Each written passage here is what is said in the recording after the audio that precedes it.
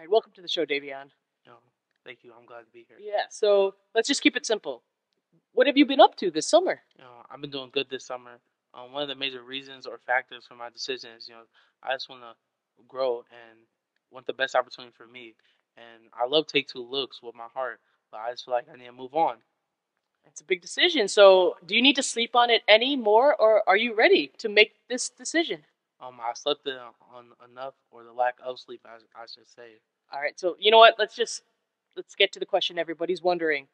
What is your decision? This summer, I'll be taking my talents to remake the bake with Khalees. Okay.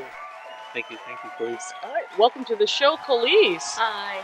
So, Davion, Yes, this is what you woke up. This is the decision you woke up with this morning. yes, this is the decision I woke up with this morning. Stay on the lookout for remake the bake. Like and subscribe. And you heard it here, folks. That is Davion's decision.